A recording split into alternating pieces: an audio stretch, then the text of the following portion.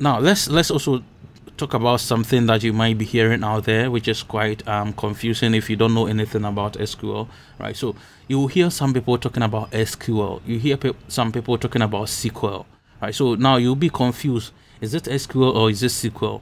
Which one should I use? All right, let's get a clarity over here. Now, SQL it was actually developed by IBM, right? It was developed by IBM in the 70s, and uh, when they developed this um, language during, I mean, in those days, since in the 70s, they they first called it Structured English Query Language, right? Instead of just um, instead of just structured query language right instead of just structured query language um, they used to call it structured english query language SEQUEL okay so you should call it like that. So um in the olden days those who were um doing sql in those days they used to call it SEQUEL all right.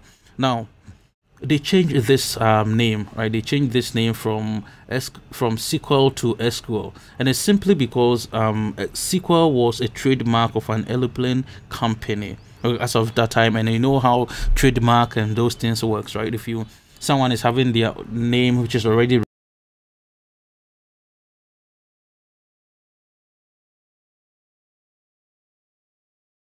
um, legal terms okay? So they change it from structured english query language to structured query language okay? They change it from this to that right? Now some people who are already familiar with this language refuse to change. You know how human being is. It's difficult for us to actually adjust to new things. It takes a lot of time so those who were um, in this scenario in the 70s and learned it through the 70s to the 80s to the 90s, they still stick to calling it SEQUEL.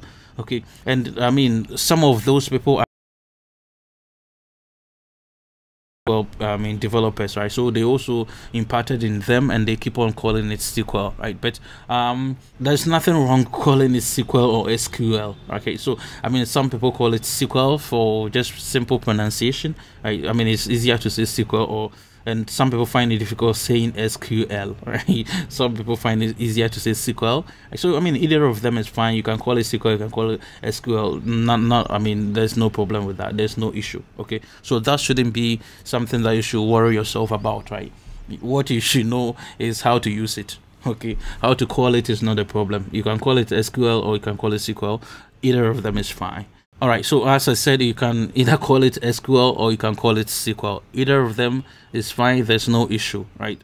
You don't need to, I mean, spend time thinking about how to call this. Instead, spend time to learn how to use it. All right.